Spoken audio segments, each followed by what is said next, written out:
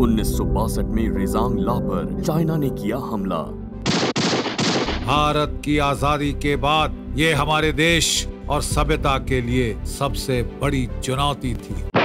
Thirteen Kumaon regiment के 120 सैनिकों ने लिया हज़ारों चीनी सैनिकों से लोहा। अतः मेजर शैतान सिंह की कंपनी को बिना तोपों की सहायता के ही लड़ना पड़ा। तोपों के सामने जब बंदूकों ने तोड़ा दम बाजुओं के ज़ोर से निकल पड़े लड़ने।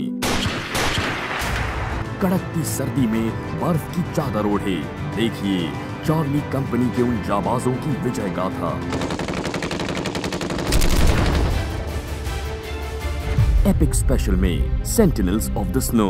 शनिवार 15 दिसंबर, दोपहर तीन बजे, शाम पाँच बजे, शाम सात बजे और रात नौ बजे, सिर्फ़ एपिक चैनल पर। जब चाहो ऑन हो जाओ। एपिक ऑन चलाओ अवेलेबल अक्रॉस ऑल डिवाइसेस